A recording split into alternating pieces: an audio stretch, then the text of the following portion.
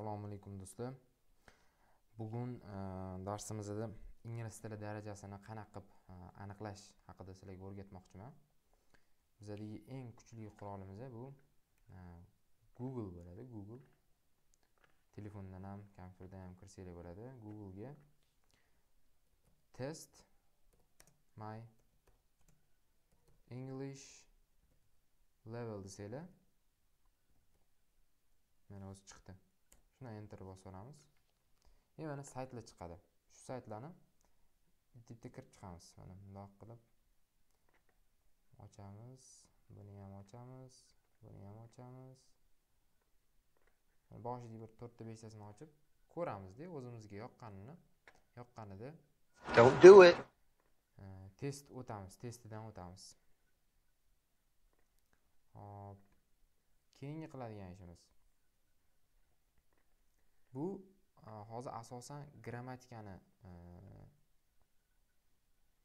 test qiladi deb yerda hozir. Mana bu yoqqa yozib yozsanglar ham bo'ladi yana test my english grammar level desanglar ya'ni grammatikalarni bilib olish uchun testlar chiqarib beradi. Mana grammar and vocabulary deyapti. Mana grammar deyapti. Free online english grammar test. Endi tilli sira bilan boshqacha narsa yozib ko'ramiz mana test. My vocabulary level deymiz vocabulary level deymiz mana oxirida english ham bor ekan. Shunisini tanlay qolamiz har xil variantlar chiqyapti. Masalan mana bunga kiramiz.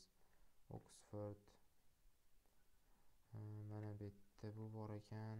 Xullas to'g'risini aytsak ma'lumot tiqilyapti. Mana aytyapti mana bu hm, yerda how many words do you know? Mana shulardan biladigan so'zinglarni tanlab chiqasizlar keyin continue bosasizlar ikkinchi qismda ham xuddi shunaqa biladigan so'zinglarni tanlab chiqasizlar continue bosasizlar ingliz tili ya'ni e, so'z bilishinglar qancha ko'p so'z bilishinglarni bu yerda aytib beradi. Yoki bo'lmasa mana bunisida ham mana bu yerda belgilab ketasizlar. Э, birinchi savolga javob berasizlar ikkinchi savoliga bu yerda qirqta savol ekan. Bu yerda qanaqa ekan. Bu yerda mana go to the test deymizda test ichib ketamiz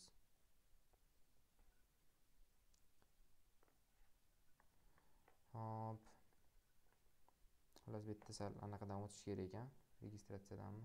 Mana mana bulardan shundan shundan anaqa qilib belgilab belgilab mana bu variantlarni belgilab bilib olsak bo'ladi. Shunaqa qilib do'stlar eng katta bu qurolimiz google bo'ladi. Nima yozsak chiqarib beradi. Ozgina narsani bilsak bo'ldi. Misol uchun how to deb yozsanglar o'zi ko'p narsa chiqarib beradi. Masalan mana buyoqqa yozamiz how to know misol uchun qanday qilib bilish mumkin deymiz how to know mana pastda ko'rsanglar mana how to know english level chiqdi. O'zi chiqib kelyapti ya'ni o'zi bizga tavsiya qilyaptida. Shuni shunday bosib yuboramiz kirib ketadi. Yoki bo'lmasa google переводчикdan foydalansak bo'ladi.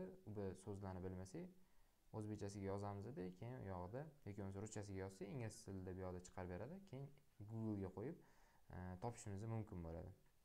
Man do'stlar linkini qoldiraman bir ikkita saytlarni. E, Man o'zim o'sha yaxshi deb bilgan saytlarni linkini qoldiraman. U yerdan kirib e, testlardan o'tishinglar mumkin. Keyin o'sha o'zinglarni darajanglarni bilib olasizlar. Shunaqa qilib bu darsimiz o'z nihoyasiga yetdi. Sog' bo'linglar do'stlar. Salomat bo'linglar.